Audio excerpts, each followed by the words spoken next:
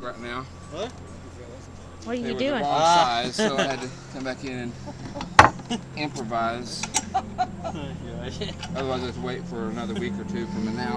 So you're rebending them? Rebuilding all the clips. So they'd be long enough to go through the holes. You're a genius. Uh, I wouldn't go as far as say that. Alright. I was just trying to figure it out. That's on tape, so everybody Okay. knows you, you fixed it. Another something I did that was possible. Yes. Hallelujah. Amen.